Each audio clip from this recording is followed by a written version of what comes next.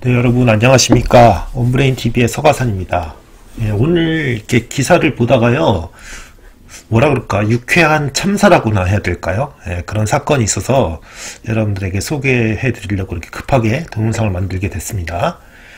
여러분, 술 좋아하시는 분들은요, 아, 수도꼭지를 틀었는데 맥주가 나오거나, 와인이 나왔으면 좋겠다, 이런 상상 해보신 적 있지 않으십니까? 예, 저는 그런 상상 많이 해봤거든요.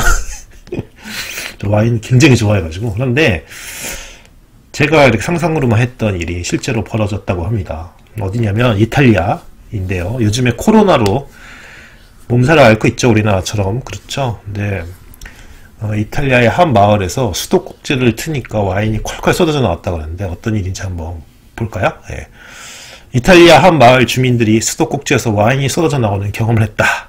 아, 이거 좀 흔치 않은 경험이죠. 해봤으면 좋겠습니다, 저도. 이탈리아 북부 모데나의 카스텔베트로시의 세테카니 마을에서는 수도꼭지를 틀자 수돗물 대신 빨간 액체가 쏟아져 나왔다. 야, 얼마나 놀랐을까요, 주민들이. 제가 찾아봤습니다. 세테카니가 어딘지. 여기가 이탈리아죠, 여러분. 이탈리아의 조금 북쪽입니다. 카스텔로 델, 디, 카스텔 베트로, 모데나의 카스텔 베트로 디, 모데나에서 모데나 카스텔 베트로라는 시가 있죠. 근데 여기 조금 위로 올라가 보면 세테카니라는 마을이 있어요. 세테카니라는 마을이 있는데 제가 찾아보니까 여기였어요. 여기 여기 여기가 이 와인 공장입니다. 여기서 뭔가 실수로 수도관으로 실수 때문에 뭔가 수도관으로 와인을 흘려보냈다고 합니다. 황당하죠. 현재 와인 생산업체인 람브루스코 그라스파로사 와인 저장 탱크에 문제가 생겨서 와인이 높은 압력으로 수도관으로 흘러갔다고 합니다. 그래서 유출된 와인은 마을 내 각 가구로 유입됐다. 여러분 같으면 어떠시겠습니까? 좀 마셔보는데 어 이거 뭐야 와인이네 그러면은 이게 웬 떡이냐 그러겠죠. 현지 주민들은 수도꼭지에서 와인이 나오는 것을 발견한 주민들이 얼른 와인을 병에 옮겨 담았다고 밝혔다고 합니다. 발빠른 조치네요. 그렇죠?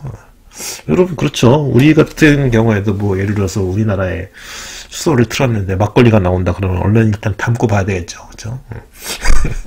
카스텔 페트로 당국은 페이스북 페이지에 공장에 문제가 있었다 하면서 몸에 해롭지 않고 위생 우려도 없고 오직 해당 업체만 손해를 봤다고 전했습니다. 해당 업체는 얼마나 배가 아플까요? 그죠?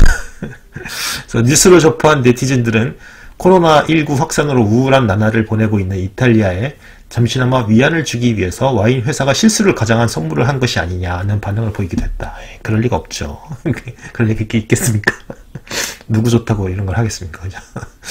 그래서 카스텔 베트로 홍보 페이지 Visit 카스텔 베트로는 페이스북을 통해서 싱크대에 와인을 싱크대에서 와인을 채우지 못한 분들을 위해 그라스파로사 와인 한 잔씩을 제공하겠다며 유쾌한 반응을 보였다고 합니다. 뭔가 약간 그거에 뭔가 관광 객을 유치하려고 한 게 아닐까 이런 생각도 들기도 하고 그러네요. 재밌네요. 그런데 그쵸? 아, 모처럼 코로나 때문에 맨날 우울한 소식만 듣다가 그래도 모처럼 유쾌한 소식을 하나 전해드리게 된 것 같아서 저도 뭐 기분이 나쁘지 않습니다. 좋습니다, 여러분. 여러분도 이 기사 보시고 조금이라도 좀 웃으셨으면 좋겠네요. 항상 그리고 여러분 건강 유의하시고요. 저는 뭐 여러분의 여러분이 건강하시기만을 기원하는 하나의 한 유튜버로서 그죠? 예. 이렇게 재미있는 소식이나 이런 게 있으면 전해드리고 여러분들 조금이라도 웃을 수 있도록 그렇게 도와드리도록 노력하겠습니다, 여러분. 예. 자, 그러면 오늘도 여기까지 하고요. 안녕히 주무시고 다음에 또 뵙겠습니다. 감사합니다.